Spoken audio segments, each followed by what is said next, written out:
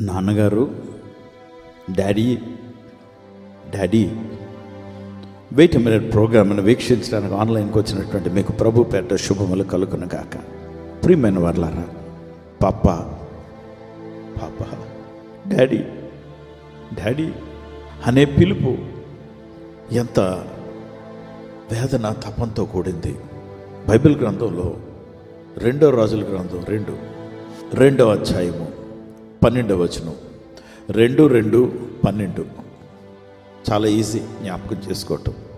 ఏలియా ఎలీషా యోర్దాను నది ఒడ్డున ఉన్నారు. ఏలియా కొనుకోబడబోతున్నాడు పైకి వెళ్ళిపోతున్నాడు. ఏలిషా నది ఒడ్డు మీద ఉన్నాడు. చూస్తున్నాడు వెళ్ళిపోతుంటే. అప్పటి వరకు వెంబడించినటువంటి ఏలిషా వెంబడించడానికి ఏకైక కారణం ఏంటంటే ఆత్మీయ తండ్రి మీద ప్రేమ. ఆయన ఇచ్చే లబ్ధుల కొరకు ఎప్పుడూ కక్కుర్తి పడలేదు ఆయన పొగుడుతాడని ఆయన ప్రోత్సహిస్తాడని ధైర్యపరుస్తాడని ఏ మాట కొరకు చూడలే. ధనికుడైనటువంటి ఏలిష ఆస్తిని అంతస్తుల్ని అన్నిటినీ విడిచి ఏలియాని వెంబడిస్తూ ఇప్పుడు ఇద్దరికి మధ్యలో ఎడబాటు వచ్చేస్తుంది. దేవుడు ఏలియాని తీసుకెళ్ళిపోతున్నాడు. కనుక ఇంతవరకు నీడలాగా వెంబడించినటువంటి ఏలిషా ఇప్పుడు ఈ ఎడబాటును బట్టి ఆయన వెళ్ళిపోతుంటే నా తండ్రి మై ఫాదర్ మై ఫాదర్ అరుస్తున్నాడు. నా తండ్రి నా తండ్రి కనుక దేవుని బిట్లరా ఈ లోతైనటువంటి మాట యస్సు ప్రభులు వారు మతైశ్వర్త ఆరో అధ్యాయంలో పరలోక ప్రార్థన నేర్పిస్తూ పరలోకములో ఉన్న మా తండ్రి అని శిష్యులకి దేవుడికి ఒక నూతనమైనటువంటి అధ్యాయం ఒక నూతనమైనటువంటి సంబంధం నేర్పిస్తున్నాడు. దేవుడికి మనకి తండ్రి కుమారుల మధ్యలో ఉన్నటువంటి లోతైనటువంటి సంబంధం. దేవుని బిడ్డలారా రీసెంట్గా మనకి కొంతమంది క్రైస్తవులు సమాధుల పండుగ అంటారు. It is not I repeat it is not ఆ సమాధుల పండుగ. నో ఇట్ ఇస్ నాట్ అది పునరుద్ధానపు పండుగ. యస్సు ప్రభుల వారు సమాధిని జయించి తిరిగి లేచినటువంటి దినము. సమాధుల పండుగ అంటే మనుషులు చనిపోయారు కనుక వాళ్ళు సమాధులు చేపట్టారని అక్కడికి వెళ్తున్నారు కనుక సమాధుల పండుగ అని అంటున్నారు. ఎందుకండి? మనుషులు చనిపోతే అది పండుగ సమాధానం చేస్తే పండుగ ఏంటి? కాదు. యేసు ప్రభు వారు చనిపోయారు తిరిగి లేచారు. It is the resurrection day పునరుద్ధానపు దినం అది కనుక యేసు ప్రభు వారు చనిపోయి తిరిగి లేవటం వలన మనలోకి తర్వాత తిరిగి వచ్చారు కనుక ఆత్మస్వరూపుడుగా మనలో ఉన్నారు కనుక మనం పరలోకపు తండ్రిని పరలోకపు దేవుణ్ణి తండ్రి అని పిలుస్తున్నాం. సరే సమాధుల దగ్గరికి వెళ్ళారు. మీ తండ్రులు మీ తల్లులు చనిపోయారని గౌరవపదంగా అక్కడ పువ్వులు వేశారు. ఒకసారి వెనక్కి తిరిగి జ్ఞాపకం చేసుకోండి. మీ సంగతి నేను అంటున్నానని కొంచెం ఉదయమే మీకు బాధ కలగవచ్చు. పోన వద్దు. నేను జ్ఞాపకం చేసుకుంటాను. నా జీవితాంతం కూడా నా తల్లిదండ్రులు నన్ను ఎప్పుడు కూడా కుమారుడిగా చూడలే. నాకు అన్యాయం చేయాలనే చూశారు. కానీ దేవుని కృపను బట్టి నీ తల్లిని నీ తండ్రిని సన్మానింపు అన్న మాటను నెరవేర్చుకోవటానికి దేవుడు నాకు సహాయం చేశారు. అంత మాత్రాన I'm not trying to play the victim no no no no no నేను అంతా బాగా ఉండి తండ్రిని తల్లిని నేను ఎప్పుడు కూడా చూసుకున్నవాడిగా ఉన్నాను నేను అంటం లేదండి. No no no no no కానీ వారు కా ఆఖరి దినాల్లో ఆఖరి సంవత్సరాల్లో నేను చాలా లోబడి ప్రేమతో చూసుకోవటానికి అవకాశం ఇచ్చారు దేవుడు నాకు.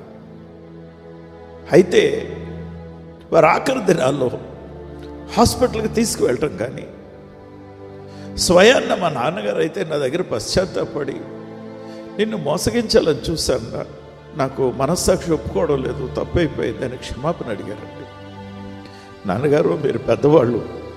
నేను మీకు పుట్టిన గర్భాన్ని పుట్టినటువంటి కు- కుమారుణ్ణి. నన్ను మోసగించడం ఏంటంటే అదేమీ లేదు. మీరు మహారాజులా బ్రతికారు. అదే నాకు తృప్తి అని చెప్పాను నేను. దేవుని బిడ్డలారా నా తల్లిదండ్రులు ఇద్దరిని కూడా సమాధి చేస్తే నీ చేతులతో. నేను చాలా పవిత్రమైనటువంటి చేతులని నేను అంటం లేదు. కానీ నా తండ్రి సమాధి దగ్గర కూర్చొని నించున్నప్పుడు తండ్రి అని పిలుస్తానా? మట్టితో నేనేదో నేనే మాట్లాడతానండి. వాళ్ళు బ్రతుకున్నప్పుడు చూడగలిగాను. ఇప్పుడు చాలామంది నీ తండ్రిని చూస్తున్నావా నువ్వు? చనిపోయిన తర్వాత వారు వెళ్ళిపోయిన తర్వాత తండ్రి తండ్రి అని ఏడుస్తావా? ఏం బ్రతుకయ్యా నీది? ఏం బ్రతుకమ్మా నీది? నీ నీ నిన్ను కన్నటువంటి నీ తల్లిదండ్రులని చూసి ఏదైనా ఒక తినుబండారమో లేకపోతే మీరు వండుకున్నటువంటి కూర తీసుకువెళ్ళి ఇవ్వలేనటువంటి బ్రతికే రేపు నువ్వు కూడా ఆ ముసలి కాలం వచ్చినప్పుడు నీ పిల్లలు కూడా నిన్ను అలాగే చేస్తే నువ్వు నీకు ఎలాగుంటుంది అందుకే నా తండ్రి నా తండ్రి అని ఏలీషా ఏలి అని పిలుస్తున్నది. సొంత తండ్రి కాదు కన్న తండ్రి కాదు ఆత్మీయ తండ్రి స్పిరిచువల్ ఫాదర్ నేను సొంత తండ్రి సొంత కుమారుని సంబంధం గురించి మాట్లాడాను. ఆత్మ సంబంధమైనటువంటి దేవుడు ఏర్పరిచినటువంటి ఆత్మీయ తండ్రి ఆత్మీయ కుమారుల గురించి నేను మాట్లాడినా? ఏం మాట్లాడమంటావు? నువ్వు వింటున్నావే? నీ ఆత్మీయ తండ్రికి నువ్వు నమ్మకంగా ఉన్నావా? నమ్మకంగా ఉన్నావా? నిన్ను దేవుడి దగ్గరికి నడిపించడానికి నిన్ను నిలవబెట్టించడానికి ఎన్ని తెప్పలు పడ్డారు మీ ఆత్మీయ తండ్రులు?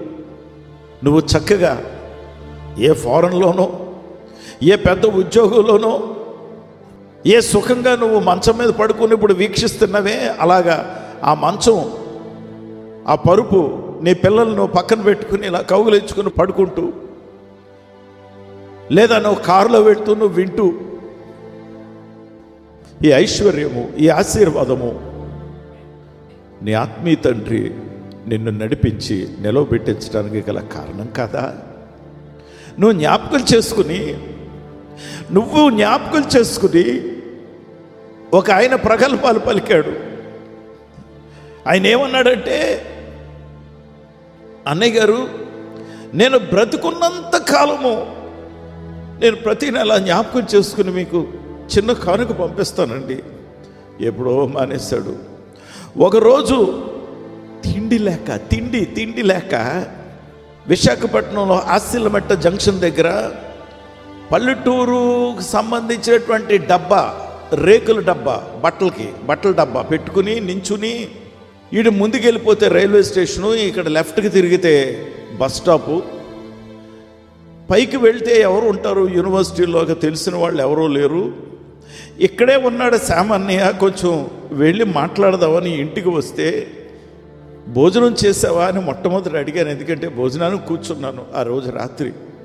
లేదన్నయ్య గారు మూడు రోజులైంది భోజనం చేసి. అంటే నేను తింటున్న భోజనం పెట్టారండి తనకి. గుర్తుంది నాకు. ఉద్యోగం లేదు. తండ్రి లేడు.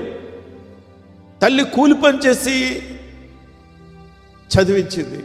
Post graduation. Double post graduate. ఆ రాత్రి భోజనం పెట్టి ఇంట్లో పడుకోమని చెప్పి ప్రార్థన చేస్తే ఆశ్చర్యకరంగా ఉద్యోగం రెండు మూడు రోజుల్లో వచ్చేసింది. ఆ తర్వాత సరైనటువంటి బట్టలు లేవు షూస్ లేవంటే నా షూస్ ఇచ్చి కొత్త బట్టలు కొనిచ్చాను. వెళ్ళాడు.